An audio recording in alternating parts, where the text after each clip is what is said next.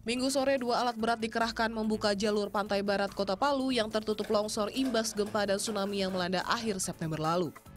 Selama evakuasi, ratusan kendaraan dari arah Toli-Toli menuju Palu tidak dapat melintas. Warga pun terpaksa harus gunakan jalur alternatif lain. Setelah lima jam evakuasi, material longsor jalur Trans Sulawesi Toli-Toli Palu ini akhirnya berhasil dibuka.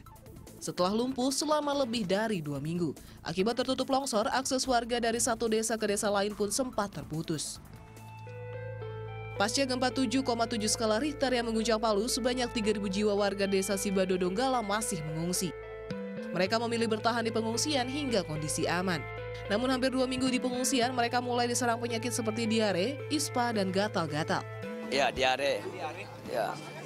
Karena kemungkinan dari tadinya tidur dalam rumah, sekarang di atas tanah. Jadi hawa tanah lah naik.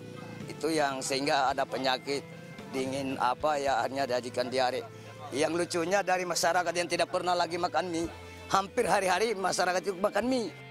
Untuk mengatasi ancaman penyakit di pengungsian, PMI dan relawan asing mulai hari Minggu membuka camp kesehatan di Desa Sibado.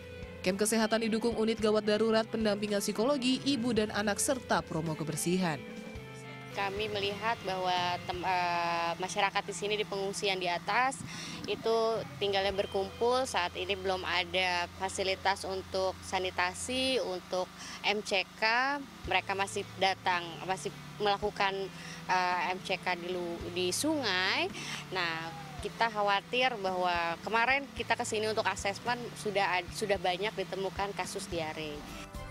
Sebelumnya Puskesmas Tompe, satu-satunya pusat kesehatan di pemukiman setempat lumpuh dan tidak dapat beroperasi karena rusak diguncang gempa.